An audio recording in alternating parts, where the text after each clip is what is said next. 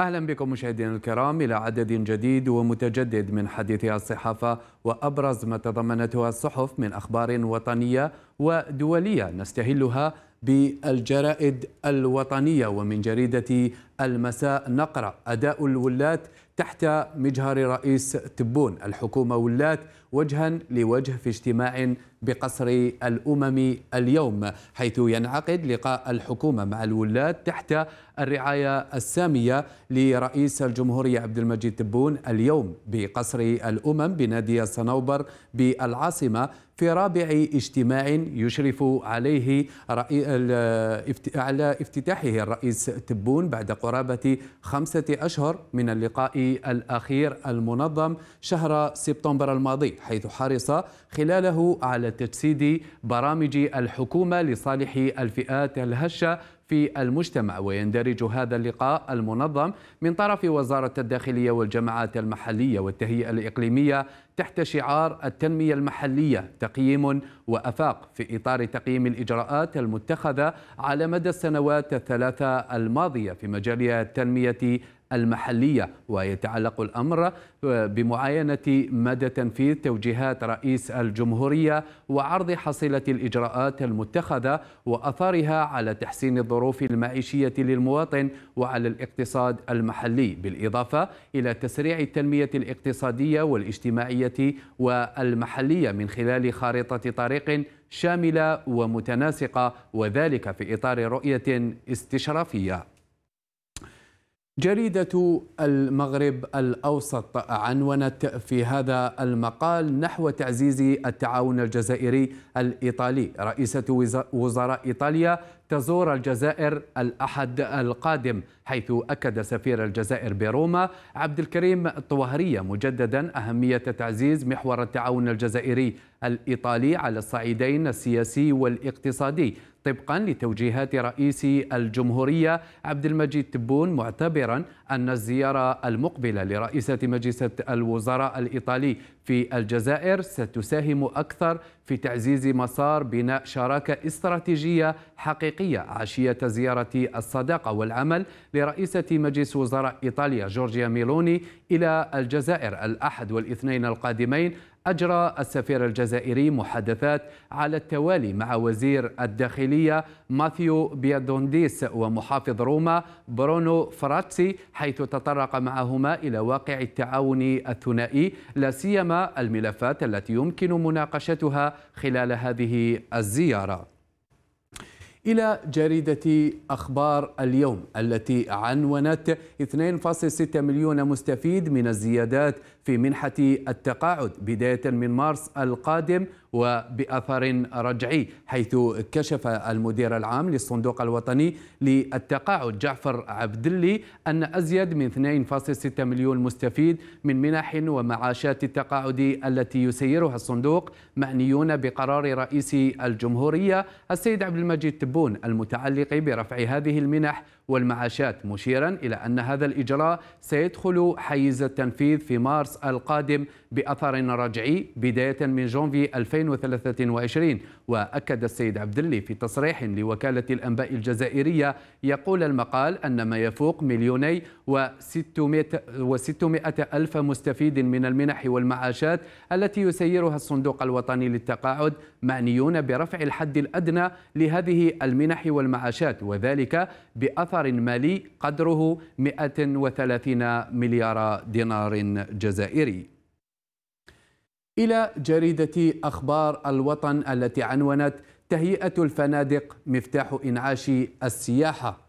والجزائر توقع اتفاقية مع القطريين لتهيئة وتحسين خدمات 73 فندقا وبعد إقدامها على عدة إجراءات جديدة يقول المقال. لتشجيع السياحة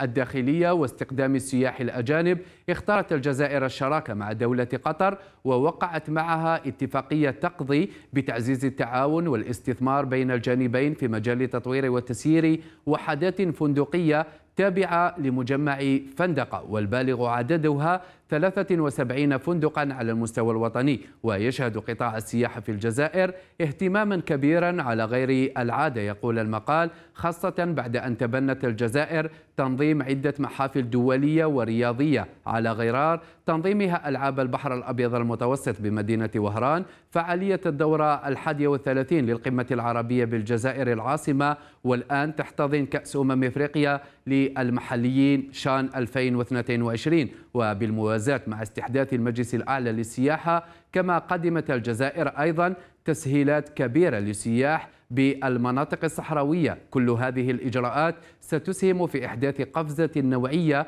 تجعل السياحة من بين أهم الروافد الاقتصادية البديلة للمحروقات.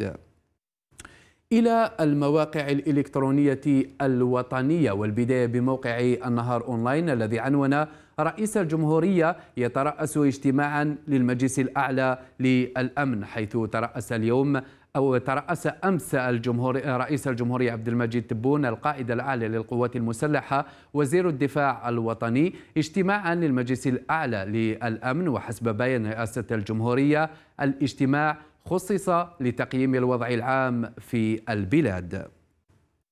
مقال آخر على موقع النهار أونلاين يقول شروط جديدة لممارسة الإضراب والتصويت السري لإثبات الشرعية حيث سيكون لزاما على المنظمات النقابية الراغبة في شن إضرابات اللجوء إلى التصويت السري بالأغلبية المطلقة للعمال الحاضرين في جمعية عامة مع تثبيت ذلك بحضور محضر, محضر قانوني. وممثل الجهة المستخدمة علما أن أيام الإضراب لا يقابلها تقاضي الأجر. وممارسته تتم وفق الشروط التي يحددها هذا المشروع الذي تحصلت النهار أونلاين على نسخة منه يقول المقال والتي يجب أن تكون متطابقة مع متطلبات المؤسسة واستمرارية الخدمة العمومية بمجرد استنفاذ وسائل تسوية النزاع الاتفاقية أو القانونية حيث يعد الإضراب غير قانونيا إذا كان يهدف إلى تلبية مطالب سياسية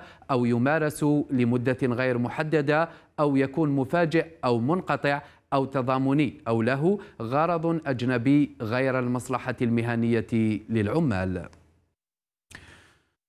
موقع الشعب أونلاين عنون تذبذب في رحلات الجوية الجزائرية من وإلى فرنسا هذا الخميس حيث تترقب الخطوط الجوية الجزائرية تذبذبا في الرحلات الجوية من وإلى فرنسا اليوم الخميس بسبب إشعار بالإضراب المعلن عنه من طرف مختلف النقابات العمالية في فرنسا حسب ما أفاد به بيان للشركة. وفي تصريح لوكالة الأنباء الجزائرية يقول المقال أكد المكلف بالإعلام لدى شركة الخطوط الجوية الجزائرية أمين أندلسي أنه قصد تقليص تأثير هذا الظرف على البرنامج الميداني للرحلات اليوم الخميس أنه سيتم العمل على تجميع المسافرين بمطار الجزائر ونقلهم على متن طائرات ذات طاقة استيعابية كبيرة مشيرا أنه سيتم إلغاء رحلة واحدة هي رحلة بجاية باريس. وعليه أكد أن المسافرين على متن على متن رحلة بجاية باريس التي تم إلغاؤها سيتم جلبهم من مطار بجاية إلى مطار الجزائر لتمكينهم من الالتحاق بفرنسا. موقع الخبر أونلاين عنون تعزيز الأسطول البحري بسفينتين وكراء باخرة حيث أكد المدير العام لمؤسسة النقل البحري للمسافرين وحيد لكح العياط أن المؤسسة وضعت مخطط عمل يرمي لتحسين المردودية بالإضافة إلى إمضاء اتفاقية إطار للشروع في عملية الرقمنة التي ستمس بصفة أولية منصة حجز التذاكر. كما كشف أمس الأربعاء لكحل عياط في جلسة استماع بالمجلس الشعبي الوطني عن قرار الدولة الخاص باقتناء سفينتين جديدتين وكراء باخرة من أجل تعزيز الأسطول وتلبية الطلب المتزايد. إلى المواقع الإلكترونية الدولية والبداية بموقع القدس العربي الذي عنون شهيدان برصاص الاحتلال خلال العدوان المتواصل على مدينة جنين ومخيمها حيث أعلنت مصادر طبية في مستشفى ابن سينا فجر اليوم الخميس عن استشهاد فلسطينيين اثنين برصاص قوات الاحتلال الإسرائيلي خلال عدوانها على مدينة جنين ومخيمها وفقا لوكالة الأنباء الفلسطينية. والشهيدان هما جواد فريد وحسين بوقانا والأسير المحرر أدهم محمد باسم آه، آه، باسم جبارين وكلاهما من مخيم جنين. وقالت مصادر أمنية أن مواجهات عنيفة اندلعت بين الشبان وقوات الاحتلال الإسرائيلي التي أطلقت الرصاص وقنابل الصوت والغاز باتجاههم ما أدى إلى استشهاد المواطنين وإصابة عدد آخر وأضافت المصادر ذاتها أن قوات الاحتلال منعت طواقم الإسعاف من الدخول إلى مخيم جنين لإسعاف المصابين.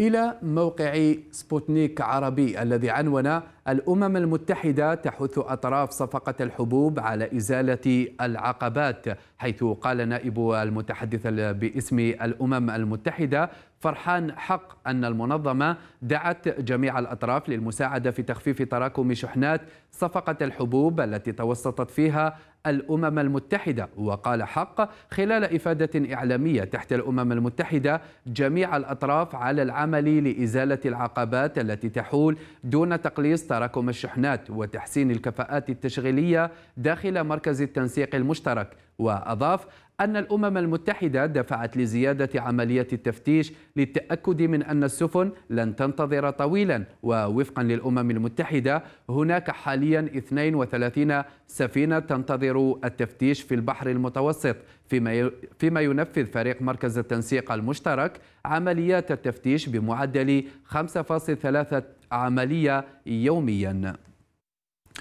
موقع البي بي سي عربي عنون زيلينسكي يقول أن مأساة تحطم مروحية وزير الداخلية ومساعديه هي إحدى نتائج الحرب حيث قال رئيس الأوكراني فلوديمير زيلينسكي في أول تصريح له بعد مقتل 14 شخصا في حادث تحطم مروحية في العاصمة كييف أنه لا توجد حوادث في زمن الحرب. ولم تتهم أوكرانيا الجانب الروسي بالمسؤولية عن الحادث لكن زيلينسكي أخبر المنتدى الاقتصادي العالمي في دافوس أن المأساة كانت إحدى نتائج الحرب وأسفر تحطم مروحية عن مقتل ثلاث شخصيات رئيسية في وزارة الداخلية الأوكرانية وهو وهي وزير الداخلية دينيس مونتاركي ومساعده الأول يفين بينين والمسؤول في وزارة الداخلية يوري لوبوكوفيتش.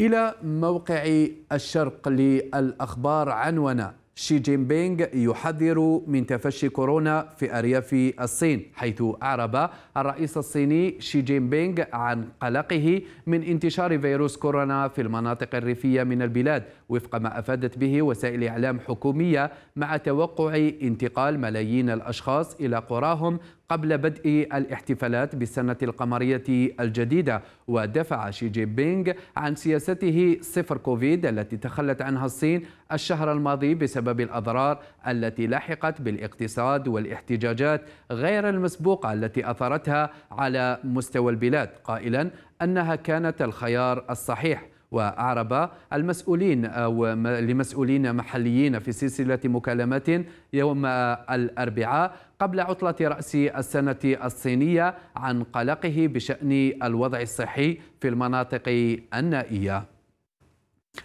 ختاما بموقع الحرة الذي عنون الحرب على التضخم الاقتصادي ستكون طويلة حيث أفاد تحليل نشرته مجلة فورين أفيرس أن الحرب على التضخم ستكون طويلة إذ لا يتوقع أن تنخفض الأسعار أو تستقر على المدى القريب. ويشير التحليل إلى أن أرقام التضخم في الولايات المتحدة تتحرك في الاتجاه الصحيح ولكنها تظل أعلى من المستوى المستهدف عند